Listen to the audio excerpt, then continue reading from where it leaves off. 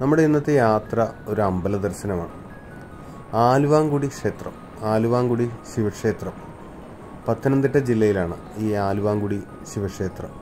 അത് കാടിന് നടുവിലായിട്ടാണ് ഈ ഒരു അമ്പലം സ്ഥിതി ചെയ്യുന്നത്. അങ്ങോട്ടുള്ള ഒരു യാത്രയിലാണ്. പത്തനംതിട്ടയിൽ നിന്നും മുപ്പത്തിയൊന്ന് കിലോമീറ്ററാണ് ഇങ്ങോട്ടുള്ള ദൂരം.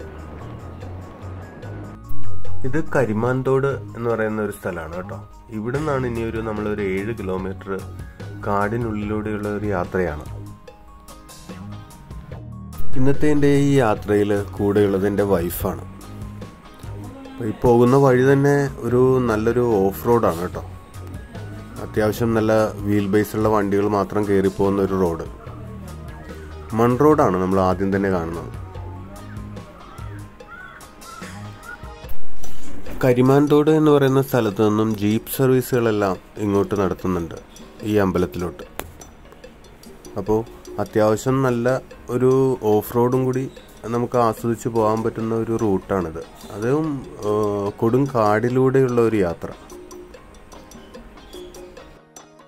നല്ല കുത്തനെയുള്ള കയറ്റവും ഇറക്കവും എല്ലാം കൊണ്ടും ഈ ഒരു വഴി ഒരു പ്രത്യേക ഒരു അനുഭവം തന്നെയാണ്. നമ്മുടെ പ്ലാറ്റിനയുമായിട്ടാണ് കേട്ടോ നമ്മുടെ ഈ യാത്ര. കുഴപ്പമില്ല. അവൻ പുലി പോലെ കയറിപ്പോകുന്നുണ്ട് കുഴപ്പമൊന്നുമില്ലാണ്ട്. പക്ഷെ എന്നാലും അത്യാവശ്യം റിസ്ക് ഉള്ള സ്ഥലങ്ങളിലൊന്നും നമുക്ക് വീഡിയോ എടുക്കാൻ പറ്റിയിട്ടില്ല. ആനയുടെ സാന്നിധ്യം അടുത്ത് തോന്നിക്കുന്ന രീതിയിലുള്ള ഒരു യാത്രയാണ് കേട്ടോ ഇത്. ആ പോകുന്ന വഴിയിലെല്ലാം ആനപ്പിണ്ടങ്ങളും അതുപോലെ തന്നെ ആനച്ചൂരും അങ്ങനെയുള്ള ഒരു പ്രത്യേക ഒരു എന്താ പറയുക ശരിക്കും ഒരു പേടിച്ചുള്ള ഒരു യാത്രയാണ്. എന്നാൽ പേടി തോന്നാത്തതിനുള്ള ഒരു കാരണം ഇടയ്ക്ക് ഓരോ ജീപ്പുകളെല്ലാം വരുന്നത് കൊണ്ട് നമുക്ക് ആ ഒരു പേടി തോന്നുന്നില്ല. ധന്യയുടെ കുറേ നാളായിട്ടുള്ള ഒരു ആഗ്രഹമാണ് ഈ ഒരു അമ്പല ദർശനം ഇപ്പോൾ മലയാള മാസം ഒന്നാം തീയതിയാണ് ഇവിടെ നട തുറക്കുന്നത്. അപ്പോൾ അങ്ങനെ എനിക്കൊരു ലീവ് കിട്ടി അങ്ങനെ ഇങ്ങോട്ടുള്ള ഒരു യാത്രയാണ്. ഞങ്ങൾ വന്നത് ആലപ്പുഴ ഭാഗത്തു നിന്നാണ് അപ്പോൾ ആലപ്പുഴയിൽ നിന്നും പത്തനംതിട്ട വന്നിട്ട് പത്തനംതിട്ടയിൽ നിന്നും കോന്നി കോന്നി തണ്ണിത്തോട് വഴി ആണ് നമ്മളിപ്പോൾ കരിമാന്തോട് എത്തിയതും. കരിമാന്തോട് നിന്നാണ് നമ്മൾ ഈ ഒരു കാട്ടിലൂടെയുള്ള ഒരു യാത്ര തുടങ്ങിയത്. കഴിഞ്ഞ ദിവസങ്ങളിൽ മഴ പെയ്തതിനാൽ റോഡെല്ലാം ശരിക്കും തെന്നി കിടക്കുവാണ് ചെളിഞ്ഞു കിടക്കുവാണ്.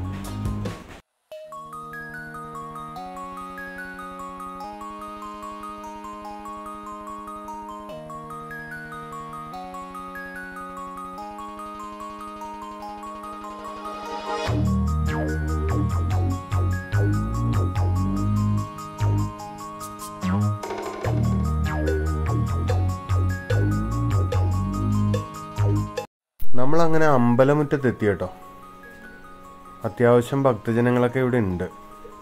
ഞങ്ങളിപ്പോൾ സമയം രാവിലെ പത്തരയായി ഇവിടെ എത്തിയപ്പോഴത്തേക്കും. ശരിക്കും പറഞ്ഞാൽ ഈ ഒരു അമ്പലം കൊടും കാടിനുള്ളിൽ ഒരു മഹാ അത്ഭുതം തന്നെയാണ് കേട്ടോ. ശരിക്കും എന്താ പറയുക ശരിക്കും റിസ്ക് എടുത്ത് വേണം നമ്മൾ ഈ കാട്ടിലൂടെയുള്ള ഒരു യാത്രയെല്ലാം ചെയ്ത് നമ്മൾ ഇവിടെ എല്ലാം എത്തുന്നത്. ശിവരാത്രി ദിവസമാണ് ഇവിടുത്തെ ഉത്സവം. അതുപോലെ തന്നെ എല്ലാ മലയാള മാസം ഒന്നാം തീയതിയും വിഷുവിനും ഇവിടെ നട തുറക്കും ഇപ്പോൾ നമ്മൾ ഈ കാണുന്ന ഈ ഒരു അമ്പലം പുനരുദ്ധാരണം ചെയ്ത അതായത് പുനർനിർമ്മിച്ച ഒരു അമ്പലമാണ് ഇപ്പോൾ നമ്മൾ ഈ കാണുന്നത്. ഇതിനു മുൻപ് ഇവിടെ ഒരു പഴയ ഒരു അമ്പലമായിരുന്നു.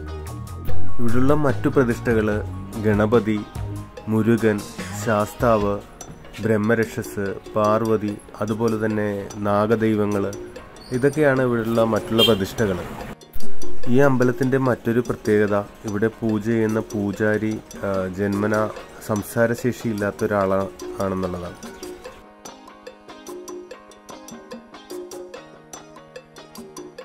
നമുക്കിവിടെ കാണാൻ കഴിഞ്ഞ മറ്റൊരു കാഴ്ച എന്ന് പറയുന്നത് കരിമാൻതോടുന്ന് ജീപ്പ് സർവീസുകൾ ഒരുപാടാണ് കേട്ടോ. വരുകയും പോവുകയും ഒക്കെ ചെയ്തുകൊണ്ടിരിക്കുന്നത്. അതായത് ഒരുപാട് ഭക്തജനങ്ങൾ നൂറുകണക്കിന് ഭക്തജനങ്ങൾ വന്ന് പോയിക്കൊണ്ടിരിക്കുന്നു.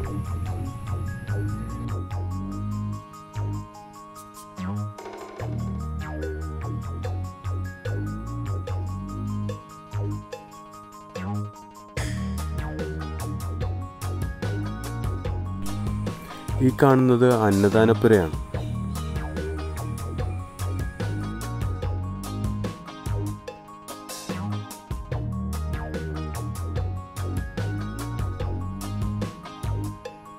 ഇതാണ് ഇവിടുത്തെ ക്ഷേത്രക്കുളം. കാട്ടാനകൾ വെള്ളം കുടിക്കാൻ വരുന്നതും ഈ ഒരു കുളത്തിൽ നിന്നാണ്. അതിന് ചുറ്റുവട്ടത്തായിട്ട് ഒരുപാട് ആനപ്പിണ്ടങ്ങളും ആനക്കാൽപ്പാടുകളും ഒക്കെയാണ് നമുക്കിവിടെ കാണാൻ സാധിച്ചത്. ഈ ക്ഷേത്രത്തിൽ നിന്നും ഒരു നൂറ് മീറ്റർ മുന്നോട്ട് നടന്നാൽ ഒരു മലദൈവത്തിന്റെ ഒരു പ്രതിഷ്ഠയും കൂടി കാണാം ഇവിടെ.